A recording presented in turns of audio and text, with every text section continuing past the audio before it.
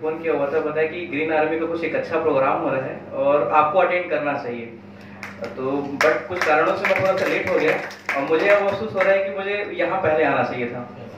आ, सबसे पहली बात यह है कि हमारा जो ऑर्गेनाइजेशन है मुझे एक पॉइंट बहुत अच्छा लगा जो सर ने बताया कि सेवन नंबर का जो पॉइंट था एनजीओ का एज इट इज़ हमारी भी संस्था एक एनजीओ है नवंकुर फाउंडेशन के नाम पे।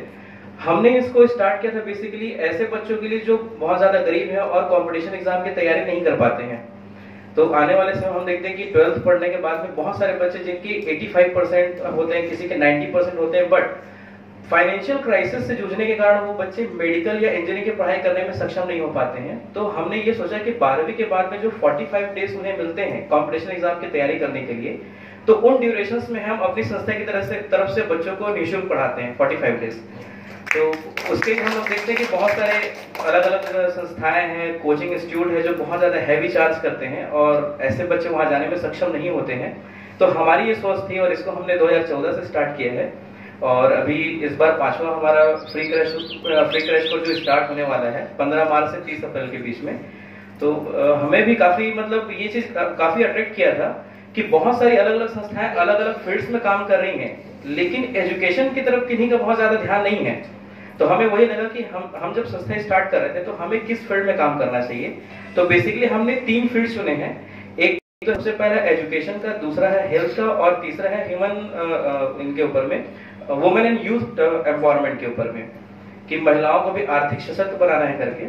तो इस ओर भी हमने भी एक दो प्रयास किए हुए हैं। दतरिंगा में महिलाओं के स्व सहायता जो समूह है, उनके साथ में मिल के कोलेबरेट करके उनके महिलाओं को एक आर्थिक सशक्त बनाने के लिए दोनों पत्तल का व्यवसाय जो है वो हमने स्टेब्लिश किया हुआ है। इसके अलावा मसाला उद्योग हमने लगाया हुआ है दतरिंगा के अलावा जो है एक है हमारा मांडर में और दूसरा है सिलतरा में। तो इस तरीके से हम लोग अपनी संस्था में काम कर रहे हैं।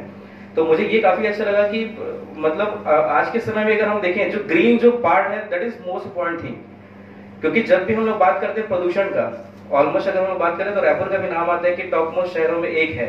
जो रायपुर बहुत ज़्यादा पॉल्यूटेड है तो काफ़ी बहुत अच्छा आपने ये कंसेप्ट रखा है, सर। मैं बहुत बहुत बधाई देना चाहूँगा, क्योंकि आपका जो टाइटल है, वही बहुत अच्छा है। जैसे कि ग्रीन आर्मी तो ये काफ़ी अच्छा मतलब मुझे लगा, काफ़ी अच्छा टाइटल आपने दिया सर, और बिल्कुल हम लोग मिलके सहयोग करेंगे सपोर्ट करेंगे। और इस बार इस बार जो है, हमारा सेशन कंप्लीट हो चुका है बच्चों का। नहीं तो हमारे यहाँ जो ऑलमोस्ट पढ़ने वाले बच्चे हैं, लगभग 200 से 250 बच्चे हर साल हमारे यहाँ पढ़ते ही हैं।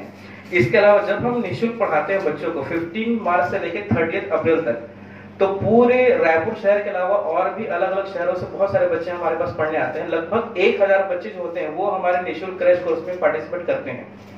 तो सर, मैं ये चाहूँगा कि आप जैसे बोल रहे थे कि अगर कुछ प्रोग्राम करना है बुधवार के दिन में तो अगर आपको कभी भी लगे, सर, कि हमें बहुत बड़े क्राउड के साथ में काम करना है तो हमें बड़ी खुशी होगी कि हम अपने बच्चों को इंट्रोड्यूस करा पाए आपके साथ में।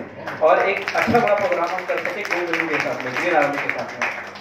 तो अगर ऐसा कुछ रहा, सर, कि एक बड़ा मीटिंग करना है या फिर बच्चों को जागरूक जागरूक करना बिकॉज़ अगर आज के समय में आप किसी यूथ को अगर जागरूक कर दिए इट मीन्स अगर वो एक अच्छा युवा वर्ग जो है, वो जागरूक हो गया तो अपने साथ में कितनों को वो जागरूक कर सकता है? तो हम बिल्कुल आपके साथ मिल के कोलेबरेट करके काम करेंगे। मैं आप सर को नंबर दे दूँगा सर आप हमसे कांटेक्ट कर लेंगे। तो जैसे हमारा क्रैश कोर्स स्टार्ट होगा, हमारे पास बच्चे हो जाएँगे रजिस्टर्ड लगभग एक हज़ार कुछ आसपास के बच्चे होते हैं अलग अलग ज़िले से। तो काफ़ी अच्छे से मिलकर एक अच्छा प्रोग्राम कर सकते हैं। तो thank you so much sir जो आपने समय दिया।